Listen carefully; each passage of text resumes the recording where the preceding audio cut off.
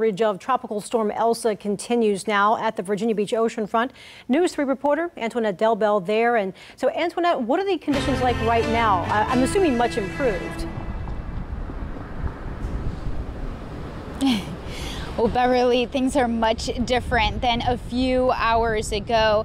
Things are really calm right now. Every now and again, you get these kind of wind gusts that kind of push you forward, but other than that, it is pretty bone dry out here. The rain kind of let up.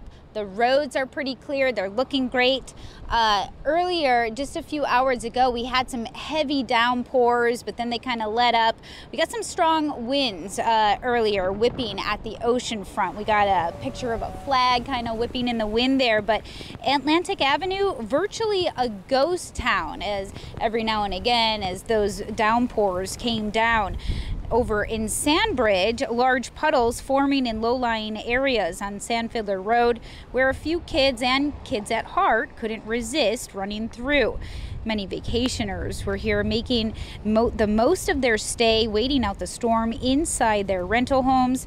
The waves at Sandbridge Beach were churning as winds kicked up and creating choppy conditions. We caught up with one of the lifeguards at the end of her shift, and she says thankfully she hasn't had to make any rescues today. The wind has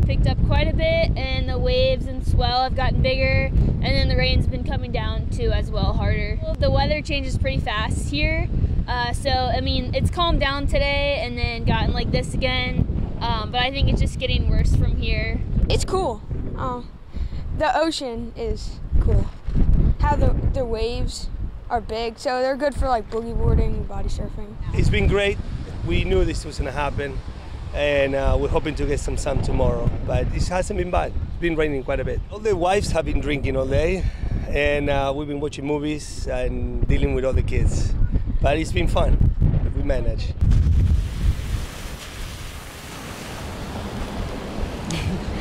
Not a bad way to spend your afternoon.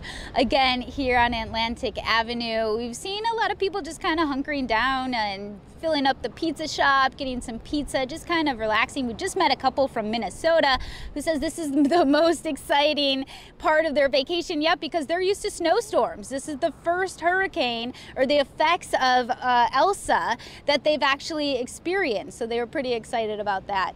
We'll have much more coming up later tonight. For now, we're live in Virginia Beach. Antoinette Delbel, News 3.